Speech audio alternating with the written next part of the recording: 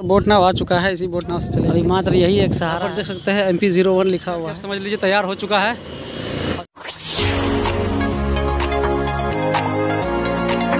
नमस्कार दोस्तों आपका एक बार फिर से स्वागत है हमारे चैनल पर। तो अभी का जो अपडेट है वो देख सकते हैं। यहाँ पर जो आप लोगों को मैं तस्वीर दिखा रहा हूँ सामने आठ नंबर का पाया है उसमें देख सकते हैं इसका जो है काम चालू हुआ है। पहली बार जो है बाढ़ के बाढ़ के बाद जो है पहली बार यहाँ पर किरण आकर के लग चुका है।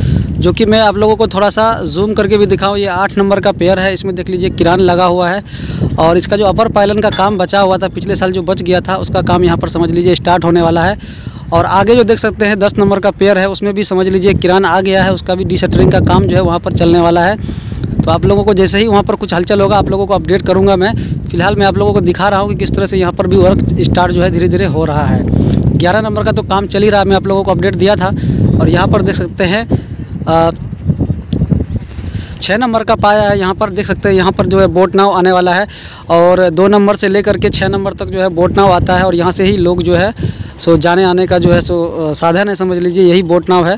क्योंकि पिछले बार जो है, सो, नाव जो चलता था वो दस नंबर से, सामने जो पेड़ देख रहे हैं आप लोग, दस नंबर दस नंबर से बारह नंबर तक नाव चलता था। उसके बीच में, समझ लीजिए, एक तरह से गंगा बह, बहती थी बहता था वहाँ पर। तो वहाँ पर जो है सो ग्यारह नंबर का पेड़ पिछले बार बन नहीं पाया था, लेकिन इस बार जो है काम चल रहा है, वो जो बहुत जल्द समझ लीजिए बन के तैयार हो जाएगा। यहाँ पर देख सकते हैं, लोग इंतज़ार कर रहे हैं बोट नाव का एक नाव भी आ गया है। इसी बोट नाव से हम लेकर के चलेंगे आप लोगों को दो नंबर तक, और दो नंबर की तस्वीर भी आप लोगों को दिखाएँगे। दो नंबर की दो नंबर का जो पेड़ है, उसमें भी काम बहुत जल्द स्टार्ट होने वाला है। और बोट नाव आ चुका है, इसी बोट नाव से चलेंगे।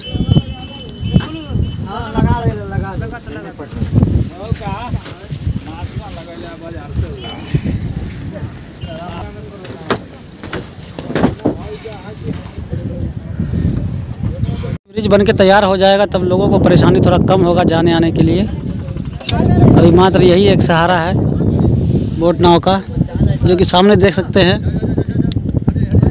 चार नंबर पाया आप लोगों को दिख रहा होगा। और सामने पाँच नंबर है और ये वाला छः नंबर पाया है।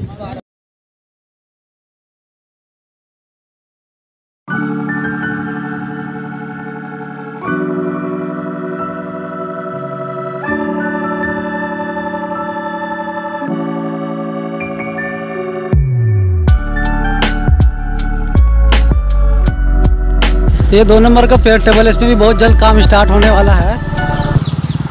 और आप लोगों को मैं आगे दिखाऊँगा एक नंबर पेयर का जो काम चालू हुआ है, उसका किस तरह से काम चल रहा है, वो भी आप लोगों को तस्वीर दिखाने की कोशिश करेंगे। तो वीडियो में बने रहे और जो लोग चैनल पर नए आए हैं, चैनल को सब्सक्राइब कर लीजिए। अब बेल आइकन भी प्रेस करके रखिए, ताकि वीडियो का अपडेट सबसे पहले आप तक पहुँचे। तो यहाँ पर आप देख सकते हैं जो वर्ल्ड का लॉन्गेस्ट केबल स्टे ब्रिज बन रहा है, उसका जो पहला पेड़ है, उसका देख लीजिए यहाँ पर अभी तक। अभी का जो तस्वीर है, वो देख सकते हैं, अभी इस तरह से कुछ दिख रहा है। एक नंबर में देख लीजिए, सरियाबंदी का जो है काम है, वो यहाँ पर चल रहा है। वर्कर काम तेज़ी से कर रहे हैं यहाँ पर। यही वो पेड़ है जो कि एक नंबर पाया है, और टोटल पाया जो है 68 पाया है, जो कि देख पा रहे होंगे।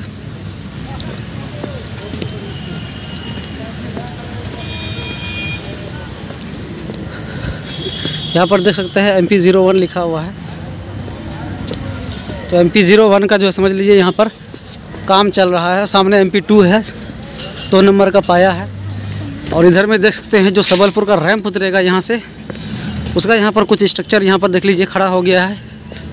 और मैंने आप लोगों को अपडेट दिया था, उसमें जो है सो अभी तक सेटरिंग लग रहा था, लेकिन अभी सेटरिंग फाइनली कंप्लीट हो चुका है। उसके बाद अभी सरियाबंदी का काम इसमें स्टार्ट होने वाला है।